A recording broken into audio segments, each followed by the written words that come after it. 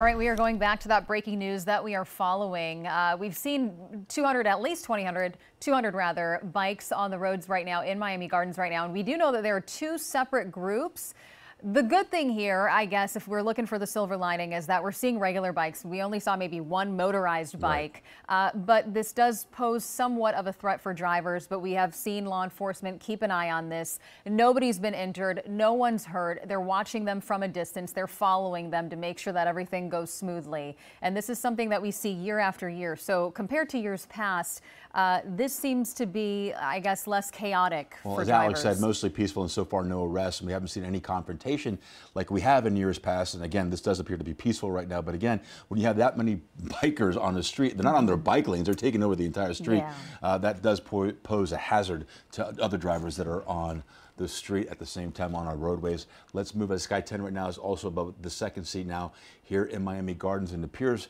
uh, I just spoke too soon that, they were confronting a driver. I couldn't see from that video, but my producer was telling me there was appeared to be some kind of bicyclist and driver confrontation.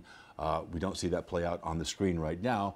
Uh, we're going back and forth from both of these groups. This again, you know, it, it, it's hard to not talk about the the danger and the hazard of what we're seeing right now um, because again there are motorists on the street and when you have a bike you're supposed to stick to the bike lane and right. unless it's a sanctioned event where they close the streets off that's where you're supposed to stay on your bike and uh, drivers are having to navigate this, and this does pose a hazard to those that are using these roadways and trying to get home or trying to get to a to dinner or, or wherever it is they're going on our roadways. But uh, we're going to keep watching this. Police again watching this at a distance, but so far no arrests and no reports of any violence around. That's a good thing right now. So we're going to keep watching this for you and bring you updates as they come into our newsroom.